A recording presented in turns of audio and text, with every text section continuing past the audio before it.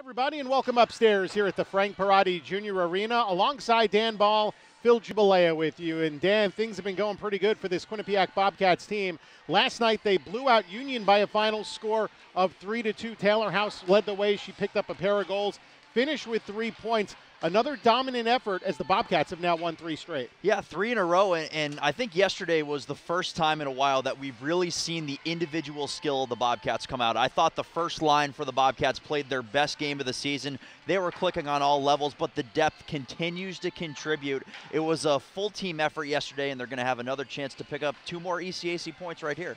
To say it's been a long season for RPI, perhaps an understatement. They've yet to get a victory this season.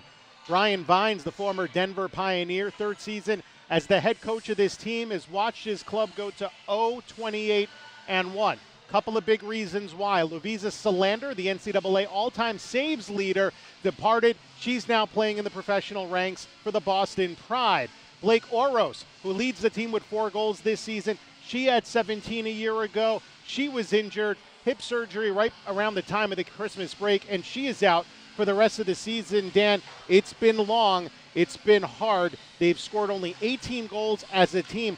Despite that, there are some bright spots on this team as they've got really good net minding. First year out of Stavanger, Norway, you've got uh, Anna Nystrom, and she's been pretty good. She had 54 saves last night. Yeah, this RPI program continues to hold defense and goaltending very high, and it's worked this year for them if you look at their numbers this season. But Nystrom this year, she took over for Lovisa Selander, like Phil said, who left as the NCAA's all time leader in saves. She had 54 saves last night, did Nystrom against Princeton in a 3 1 loss. 44 more against Quinnipiac earlier in the season. 17 of her 19 starts this year, she's had 30 or more saves. So, two first year goaltenders on this team for RPI. They're not scoring a lot on offense, so it makes the job of being the goaltender that much more difficult. But Nystrom, especially, has really shined in her first year. Goaltending and defense really have been the high watermarks of this RPI team.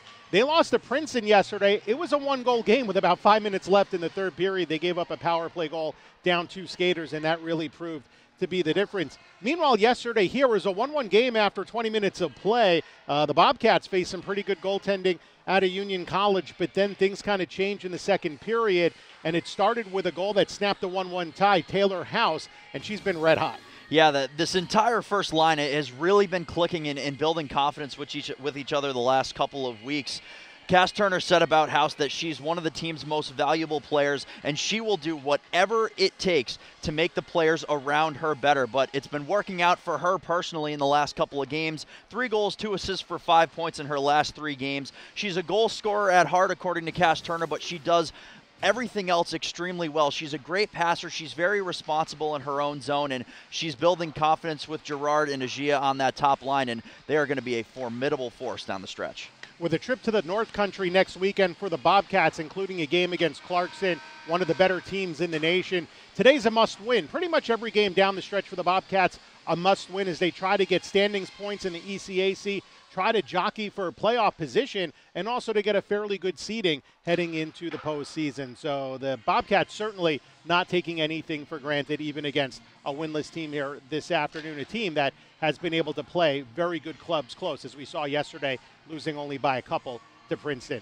We'll have the opening lineups and the opening face-off when we come back after this. You're watching Quinnipiac Bobcats hockey on ESPN Plus.